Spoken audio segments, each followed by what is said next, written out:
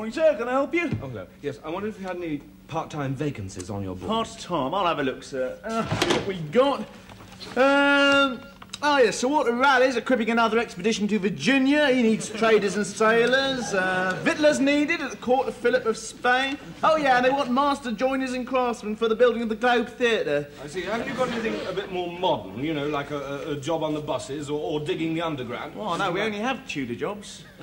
That can't be very profitable, can it? Well, you'd be surprised, actually, sir. The Tudor economy's booming. Ever since Humphrey Gilbert opened up the Northwest Passage to Cathay and the Cabot's expansion in Canada, there's been a tremendous surge in exports. And trade with the Holy Roman Empire's going, no, quite right, it's no good at all.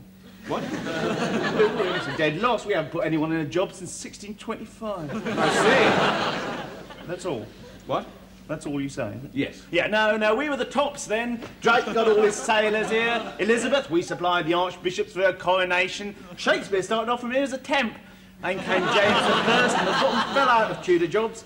1603, 800 vacancies filled. 1604, 40.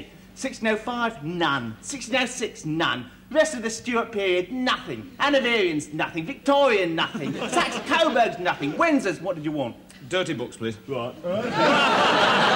really, sir. Uh, Sorry about the tune a bit, but you can't be too careful, you know. Have you, have you got anything a bit, a bit stronger? Stronger, Yeah, yeah. hold on. Uh, my lord of Warwick! Raise high the drawbridge, Gloucester's troops approach! Right. Can't be too careful, you know, sir. There's, uh, there's Bridget, Queen of the Whip. or there's uh, Naughty Nora. No. Or there's this one, Doug, Bob and Gordon visit the Ark Royal. or there's uh, Sister Teresa, the spanking nun. You don't have anything specifically about uh, Devon and Cornwall. I'm afraid not, sir. The one I was really after was Arthur Hotchkiss's uh, Devonshire Country Churches. Well, how about this, sir? Bum biters. No, not really. Um, I don't suppose you've got any general surveys of English church architecture. No, it's not really our line, sir. Oh, I see. Well, never mind. I'll just take the Lord Lieutenant in nylons then and uh, I'll trade in these two copies of uh, Piggy Parade. Thank you. My lord of Warwick! Hello! Raise high the drawbridge, Gloucester's troops approach! Right.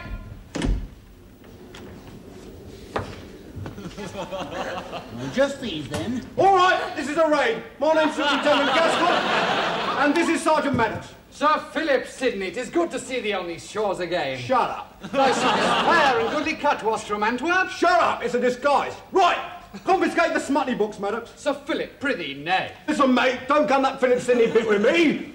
I'm not a bloody Tudor at all. I'm Gaskell of the Vice Squad, and this is Sergeant Maddox.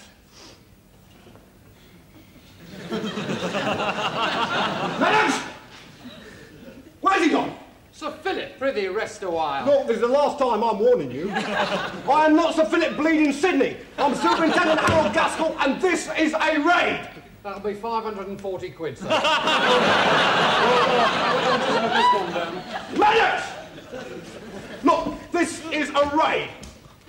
Honestly. I promise you. Where are you going? I'm going home. Right. Right, I remember you. Don't you worry. I remember you. Don't you start. Maddox! Listen, I can prove to you I'm a policeman.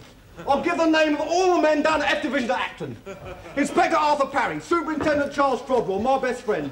Police dogs Butch, Wolf, Panther, Maudling. How would I know those names if I was a Philip Sidney? Vicar, Vicar, you know me. The Gargoyle Club. I got you off the charge. well, well, good Sir Philip. Hey, stop! Maddox!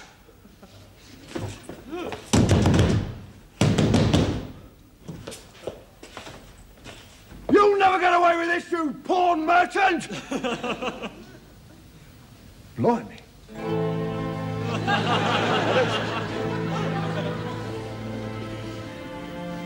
Maddox! Oh, good sir, am to come. Forgive me weeping, but my love has gone. Uh, listen, my name is Gaskell, uh, Superintendent Gaskell of Vice Squad. Myself and Sergeant Maddox are on a raid. We are not Tudor people, we are the police. Francis, what idleness is this? Why, good Sir Philip Sidney, what dost thou here? You are Sir Philip Possibly. But I may be Superintendent Gaskell of the Fight. Ah, good Sir Philip. Thy sharp-tongued wit has not deserted thee. Come, let us eat and drink. Stay with us a while. All right, sir. I think I will.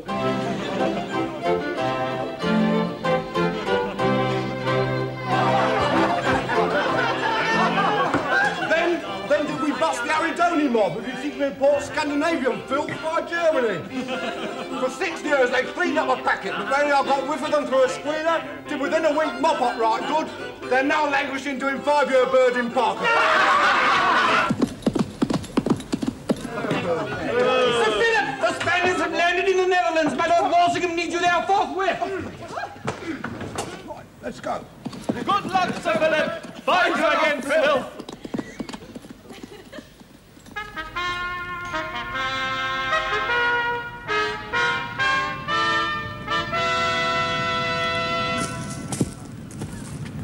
Where are the Spaniards?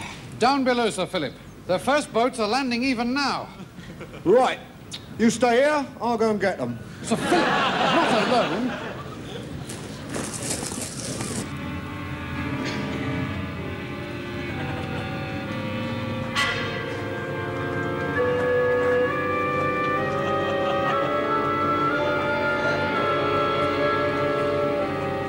Hello, hello. What's going on here? It's nothing, senor. It's just some literature. I know what literature is, you dago dustbin. I also know what porn is. What's this then, eh? He's one of Lope de Vega's latest plays, senor. Toledo Tip Parade? what kind of a play is that? He's very visual, senor. Right, I'm taking this lot in in the name of Her Gracious Majesty Queen Elizabeth. Senor. Don't give me any trouble. Just pile up these baskets of filth and come with me. No. Yeah.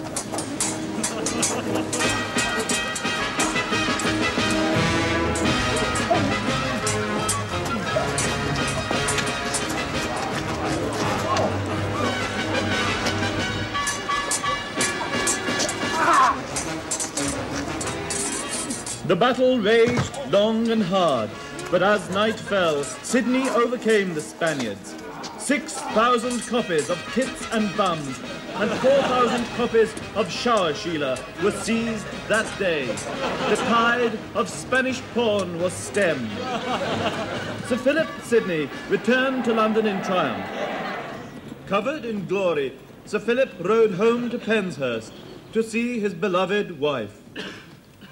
But all was not well. Good evening, all, my love. I have returned safe from the Low Countries. What art thou reading, fair one? Uh, it is nothing, husband. I can see 'tis something. Uh, tis one of Shakespeare's latest works. Oh.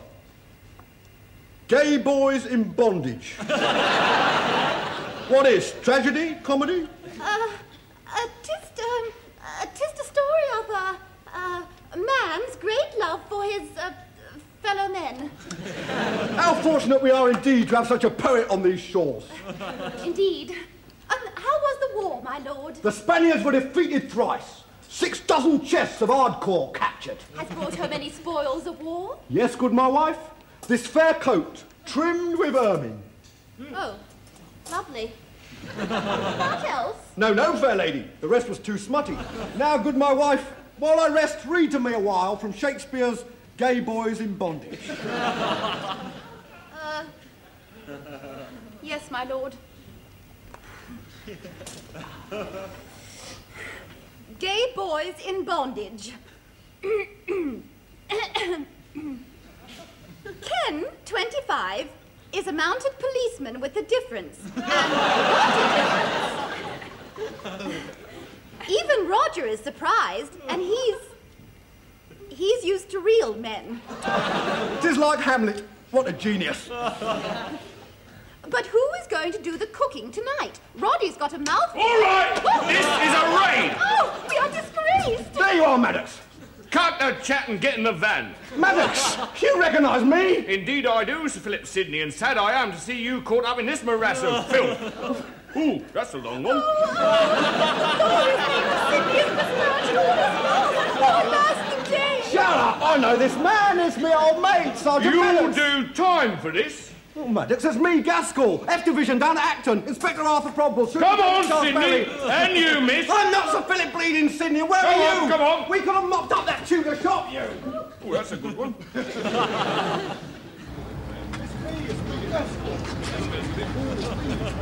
Listen, that's all. Wait, there's no more about this when I get you back at the station. Maddox, you've got the wrong man.